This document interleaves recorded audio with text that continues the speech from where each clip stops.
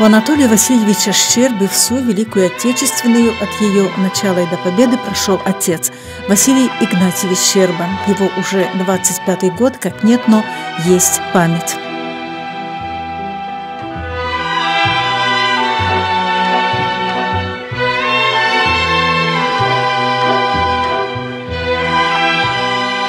Как ниточка, как мостик между прошлым и настоящим – фронтовые награды за отвагу и подвиги, фотографии военного времени и рукописный дневник. Это его страницы бережно перелистывает уже внук фронтовика Сергей, вчитываясь в строки, которые выцвели от времени. 13 ноября 40 года. Жизнь наша проходила весело. За это время знакомили нас с суставами, с физкультурой и тому подобное. Проходили курс молодого бойца.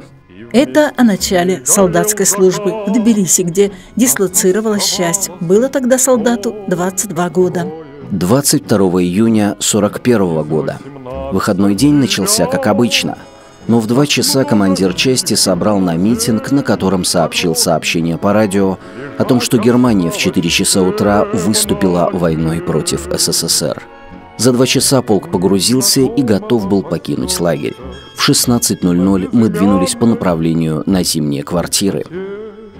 По записям начала войны чувствуется беспокойство. Там воюют, а тут пока ожидание. Представлялась все время родная деревня, Белый лесок, что под самой пущей в Пружанском районе. Долгое отсутствие писем говорило мне о том, что мои родители попали в руки Германии. Передо мной представилась картина горевшего дома моего и страданий в семье. Отца, матери и сестер – эти картины навевали мне массу снов. Бредил я ночью, во сне. И все о доме.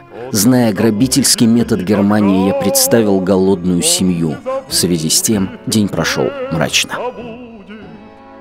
За скупыми строками «Дыхание войны». Фронтовой дневник Василия Игнатьевича Щербы сегодня бесценная родовая реликвия. Вести его радиотелеграфист 136-го гаубичного артиллерийского полка ставки Верховного главнокомандующего стал с того времени, как призвали в армию с октября 1940 года.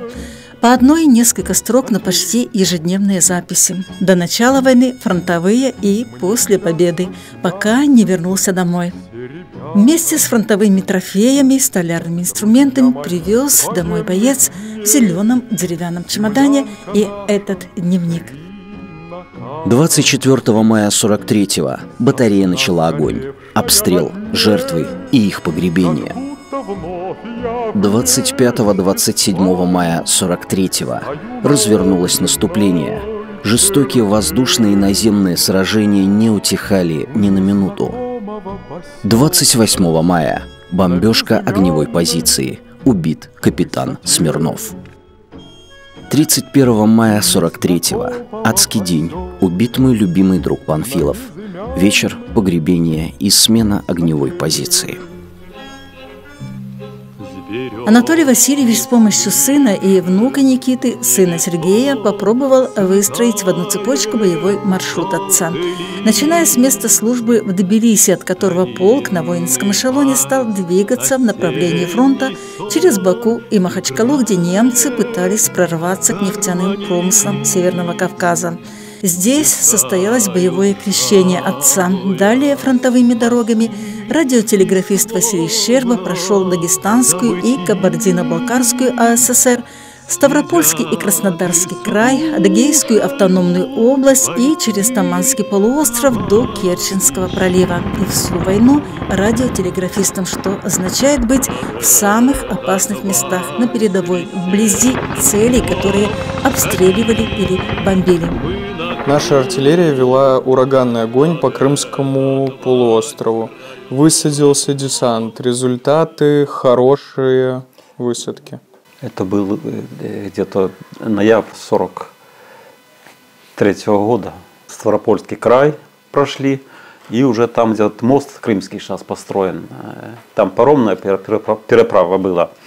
Вот. А с этого берега э, Ставрополья туда стреляли в город Керчь, чтобы там выбить 31 октября 1943 года советские войска начали переправу через Керченский пролив в ходе Керченско-Эльтигенской десантной операции. Рядом с городом был занят Керченский плацдарм. Линия фронта проходила по его окраинам. Бои проходили настолько ожесточенно, что днем было темно, как ночью – от взрывов и дыма горящей нефти. После массированных артиллерийских обстрелов и авиации противника на деревьях не оставалось листьев и постоянно хоронили погибших однополчан. Приказ о наступлении. В 11.00 начался концерт. Целый день громила наша артиллерия и авиация. Наступил вечер. Тихий, лунный, как будто бы воцарилась мирная жизнь. В эту ночь я был дежурным по батарее. Все внимательно следили за успешными наступательными действиями наших войск на Южном и Центральном фронте. Это 14.09.43. 15 пишет, «Э, наша артиллерия продолжала э, наносить фрицам удары. 22-30-12 года. Кропотливая жизнь, поездка за снарядами, копка землянок, недостаток топлива. Часто приходилось ездить на пристань за огурцами, это в кавычках. Наши войска на Керченском полуострове гоняли врага. В эти дни Ленинградский фронт развернул наступление и, прорвав оборону, продвигался вперед. Я следил, как далеко еще Беловежа. Разгром гитлеровских войск на Кавказе и выход Красной армии на Таманский полуостров – ознаменовали начало боев за освобождение полуострова Крым. Во время Крымской операции Василия Щербу догнала первая фронтовая награда «Медаль за оборону Кавказа». После освобождения Крыма артиллерийская бригада резерва Ставки Верховного Главнокомандующего через уже освобожденные районы Украины и России движется в направлении белорусского города Кречев. Бригаду перебрасывают под Могилев – для участия в операции «Багратион», одной из крупнейших стратегических наступательных операций Великой Отечественной войны. Бригада, в которой воевал Василий Щерба в составе Второго Белорусского фронта, участвует в освобождении Могилева, далее в направлении Минска. Фронтовая обстановка, когда каждый день мог быть последним, обостряла тревогу солдата о судьбах родных. За всю войну о них никаких вестей. 80 лет будет летом, когда он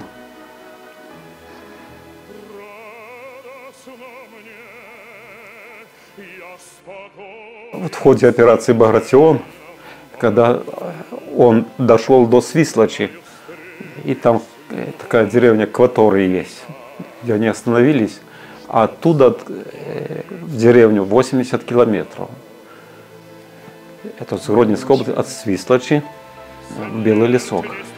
В родную деревню у командира отпрашивается навестить родных на трофейном велосипеде.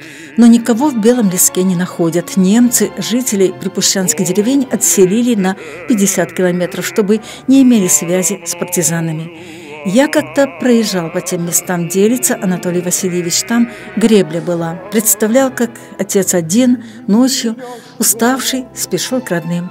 А в Хмизняке, не исключено, скрывались не успевшие уйти немцы. Узнав, что семья вывезена в Березовский район, Василий отправляется туда. Радости встречи не было предела. Его давно считали погибшим.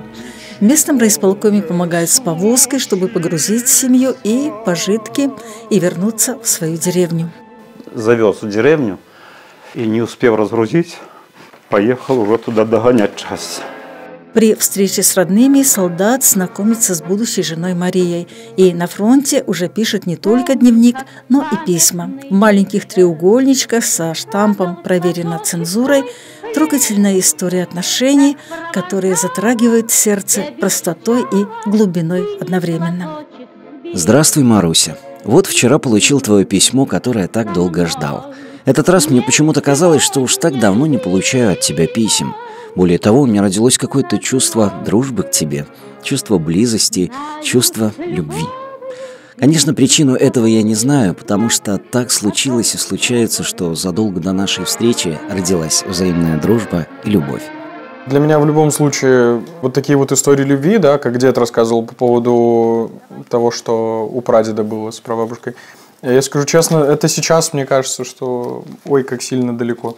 Сейчас у людей совершенно другие ценности в жизни, совершенно другое видение, в принципе, жизни, другой институт семьи однозначно, поэтому, к сожалению, сожалению да. Это ж надо было находить клочки бумаги. Да, представьте, какая романтика была, когда ты сидишь и ждешь письмо от почтальона, да, когда э, тебе ответят или когда там твоя девушка ждет того, что ей доставят твое письмо. Войну фронтовой радиотелеграфист Василий Щерба закончил в Вене, в столице Австрии, а после Дня Победы был направлен в Болгарию, где и дослуживал, готовя себе замену. Дни проходили оживленно, кто-то уезжал домой, кто-то в отпуск. На основе этого и велись разговоры. В моей жизни шло хорошо. Около месяца я работал столярную работу и участвовал в художественной самодеятельности, что дало возможность до некоторой степени э, отдохнуть. Что меня очень сильно удивило в данном дневнике, то, что их же запрещали вести, насколько я знаю. То есть это было прям наказуемо. Вот. А он как бы, несмотря на то, что запрет таковой был, все-таки старался описать каждый свой день из э, жизни. То есть мне было интересно прочитать как это все начиналось, то есть какие у него были ощущения, что он писал по поводу э, именно наступления да, немецких захватчиков, как он это видел, то есть от его лица. И вот на самом деле, когда с друзьями я приходил сюда, то есть первое, что я делал, это я говорил, вот смотри, это вот дневник моего прадеда. Это же разное время года. Да. И э, я не представляю, где можно было хранить его там так, чтобы начальство не видело. Дневник прадеда для Никиты – особая гордость. Такого нет ни у кого. Реликвия, которая греет душу, как и награды прадеда, медали за отвагу и боевые заслуги, за победу над Германией и, конечно, орден Великой Отечественной войны второй степени. Я вот думал, вчера с дедушкой разговаривал, я ж в гвардейской бригаде служил. Говорю, а у прадеда как раз есть гвардейский орден. Я думал, что вот как же было бы классно, наверное, это вот когда э, все носят, ну, современный, да, а я вот прадеда. Это было бы на самом деле очень интересно. Если истории брать, то прочитав учебник современной истории, который в школе у моего младшего брата. Интереснее, захватывающе – это живые рассказы людей о происходящих событиях. И мне кажется, на самом деле, что вот этот вот дневник даже взять, этот дневник, он мог бы послужить на самом деле большим толчком к тому, чтобы дети начали понимать, когда это написано обычным человеком, который просто шел этот путь, э, начиная с самого начала и до самого конца, так в разы понятнее и ну, можно понять, отследить, по крайней мере, какую-то ход, как, ход каких-то событий. Как для меня, мне было бы в разы интереснее читать про Великую Отечественную войну да, с, со слов непосредственно самих фронтовиков. Операция «Багратион», пожалуйста. Э, прадед описывал э, начало, то есть как их собирали, то есть как, какие были приказы. То есть это все было описано. Когда э, я еще учился в школе, на истории мне попалась тема операции «Багратион», а мы с дедушкой про эту операцию часто разговаривали. Учительница была поражена. Почему? Потому что, а я знал чуть-чуть больше, потому что у меня есть дневник и плюс еще дедушка мне много чего рассказывал. Кстати, глубоко вдумчивый Никита в 2015 году стал победителем зрительского голосования в телевизионном проекте «Я пою сейчас» трудится администратором в детском развлекательном центре и по-прежнему занимается творчеством, которое переплетается с осмыслением ситуации в современном мире. Сейчас очень много чего у людей теряется в памяти. Посмотрим на нынешнюю Европу когда памятники, которые были во времена Победы, когда их просто рушат, сбивают, уничтожают. Вы считаете это нормальным? Я нет. То есть для меня в любом случае какие-то воспоминания, да, то есть в крепости, я очень часто бываю в крепости на самом деле. То есть для меня это как э, память о том, что сделали наши э, деды, прадеды для того, чтобы мы сегодня могли жить и как бы жить ну, достойно. Василий Щерба в звании старшина демобилизовался в марте 46-го. Осенью того же года женился. на Марусе, Марии Леонтьевне, переписка с которой выросла в чувство на всю жизнь. Был избран первым председателем местного колхоза «Рассвет», далее, после курсов мастеров-строителей, возглавлял строительную бригаду и перед уходом на отдых до 67 лет, пока имел силы, трудился на пилораме. Ушел из этого мира в 83, оставив после себя троих детей, шестерых внуков, а также на сегодняшний день 22 правнука и дневник, который готовит к изданию внук Сергей как дань благодарности за жизнь, которая была отвоевана и дана.